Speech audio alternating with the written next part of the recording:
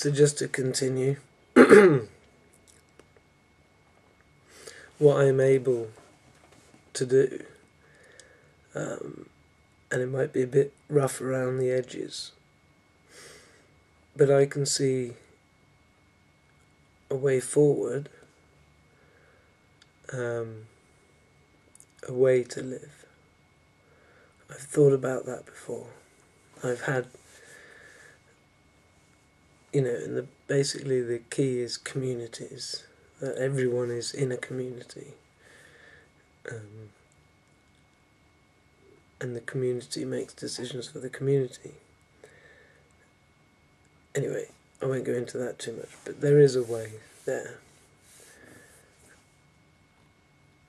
And the fact that we have to work with nature to understand that nature knows best how to take care of the soil and everything else. But we can plant things where, in places where the soil is, if you like, ripe for planting. And um, we also need to understand the fact that the colour of our eyes changes um, the effects of what we do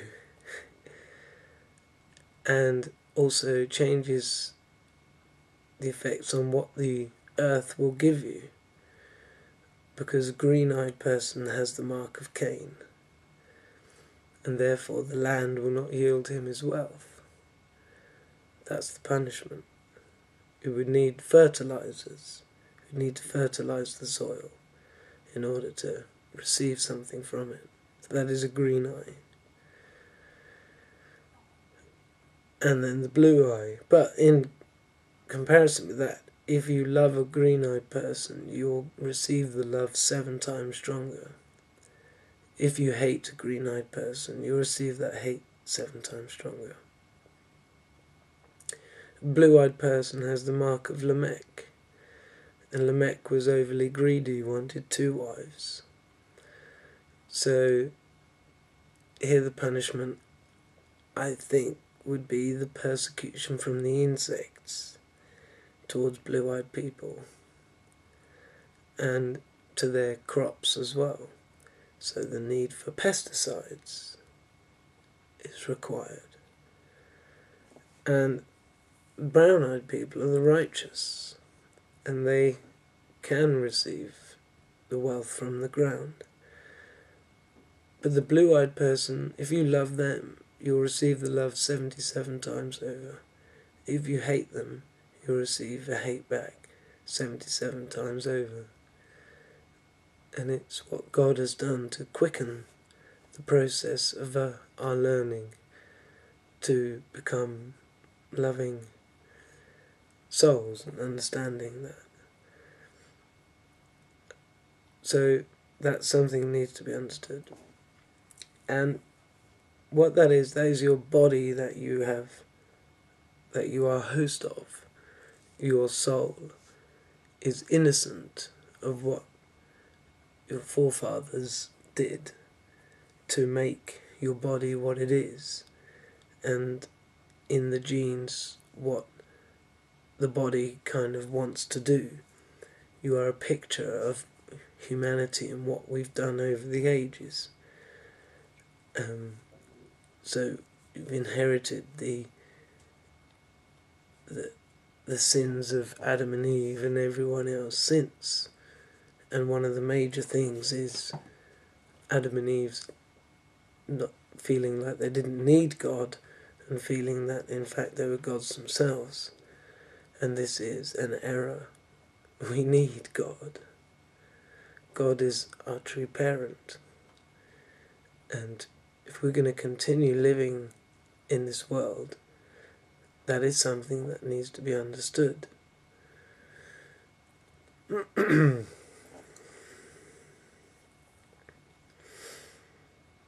so there are some bodies on earth that have become an extreme in some way.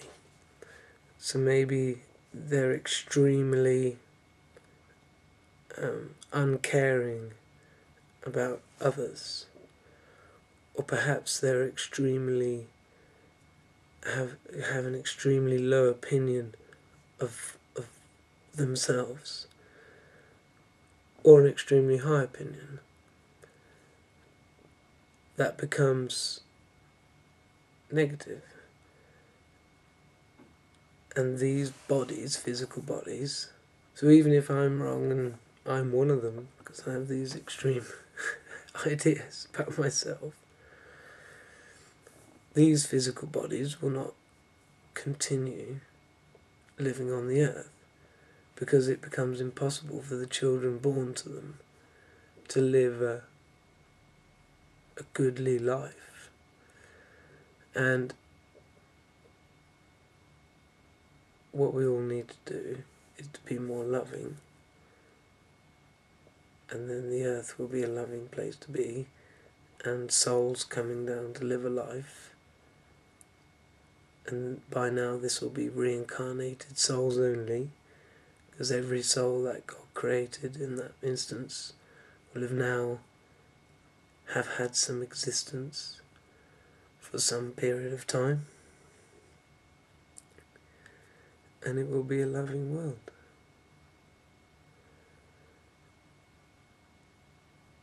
And gradually, it will be a gradual thing.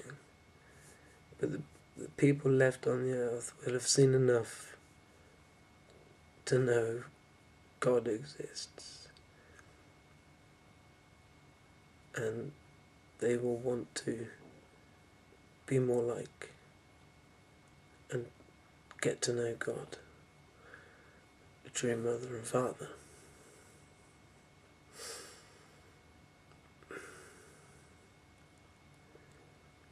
So God is coming in some way, shape, or form. And they won't be able to hide it after December 2015. They'll no longer be hidden and will be feeling major effects by May June 2016.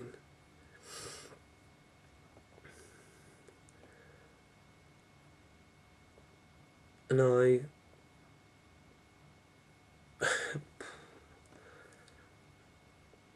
that's God's plan. I don't know it. For myself. I don't want to know it, do I? I want to live it.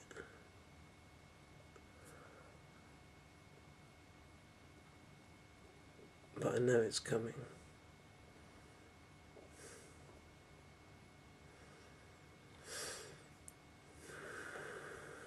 A lot of people know it's coming. And more and more are going to know it's coming. And hopefully not too many people will fall for the, the fake, the trickery, the false. Truth can hurt. You can hear a truth and realize you've been doing things in error for a long time. And once you've heard the truth, you need to. You need to be humble to it. You need to accept it. Or you'll just bounce back off the path. But being on the path feels good. Once you make that first step, you really know it's you, it's real, this is this is what you want to do and you have God's support when you're doing it. And have love in your heart and feel feel to heal. That's good.